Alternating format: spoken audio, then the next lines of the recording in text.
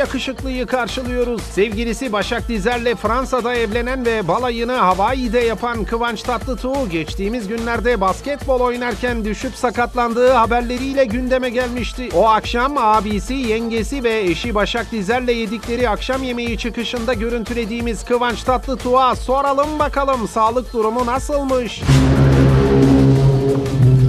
Afiyet olsun Kıvanç Bey.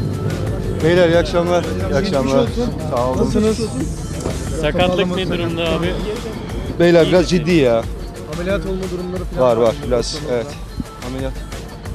Değnekle mi yürüyorsun abi? Nasıl? Değnek desteği falan Değneği bıraktın mı? çıkardım. Ama fizik tedavi sürüyor.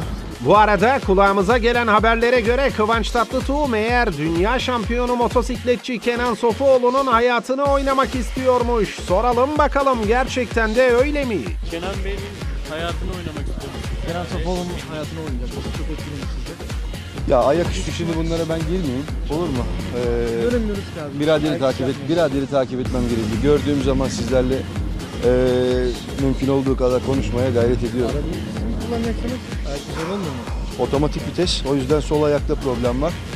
Sol ayak dışarıda kalıyor. Sağla idare edeceğiz. Ayağım biraz kötü. Ee, dizimli şey e, menisküsle çapraz bağlarda biraz problem oldu.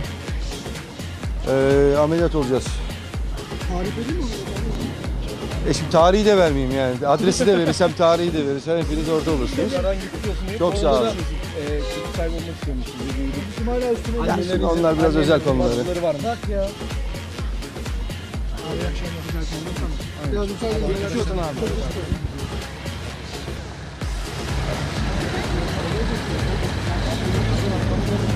Beyler. Abi yaşamak.